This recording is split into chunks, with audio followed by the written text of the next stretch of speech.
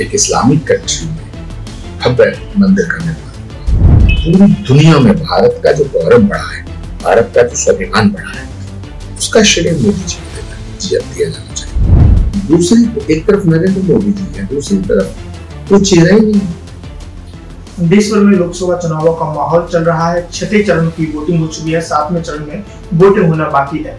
तमाम राजनीतिक दल अपनी अपनी जीत का दावा कर रहे हैं। इस वक्त हमारे साथ खास बातचीत करने के लिए मौजूद हैं आचार्य प्रमोद कृष्णन जी जो कि पूर्व कांग्रेस के नेता भी हैं। पहले तो आनंद जी से बहुत बहुत स्वागत है। क्या कहेंगे आप राजनीतिक माहौल चल रहा है और बीजेपी इस बार चार सौ पार का नारा भी विपक्ष भी अपने जीत की दावी देखिए सवाल बीजेपी से नारे देने का नहीं सवाल है देश की जनता। नरेंद्र मोदी जी का समर्थन कर रहे हैं। नरेंद्र मोदी जी के हाथों में देश सुरक्षित है।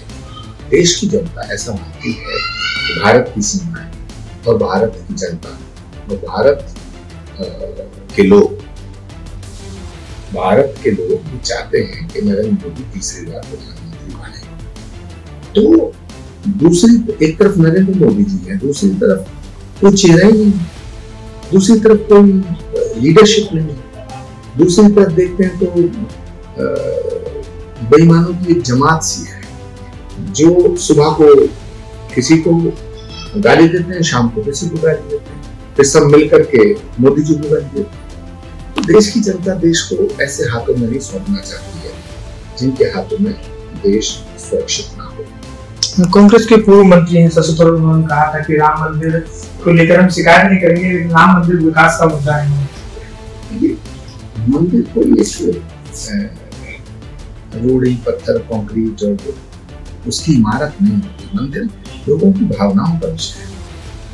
और जहाँ तक रोज़गार का विषय है बिज़नेस का विषय है तो मैं बताना चाहता हूँ कि दुनिया में जो रिलीजियस टूरिज़्म है, उससे करोड़ों लोगों को रोज़गार मिलता है। मंदिर बनने से केवल एक पुजारी जी का घर नहीं चलता।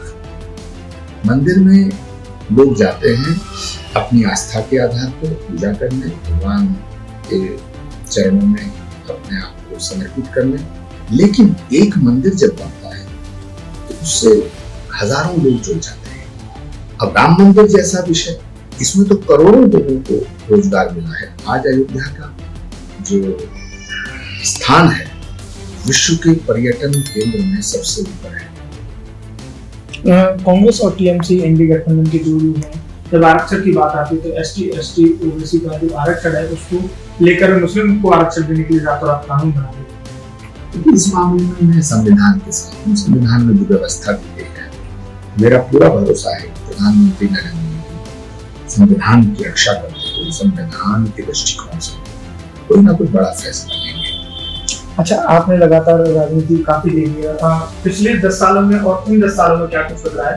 पीएम की मोदी की सरकार में, आप विदेश भी गए, विदेश में भी राम मंदिर बन चुका देखिए, सनातन का जो ध्वज है, वो दुनिया के सामने बिल्कुल फहरा रहा है।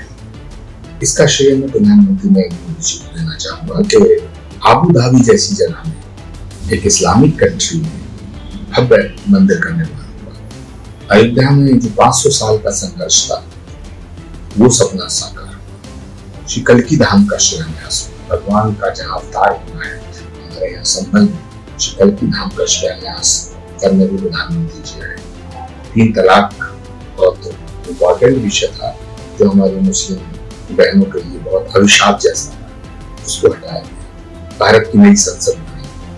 धारा तीन सौ सत्तर हटी। देश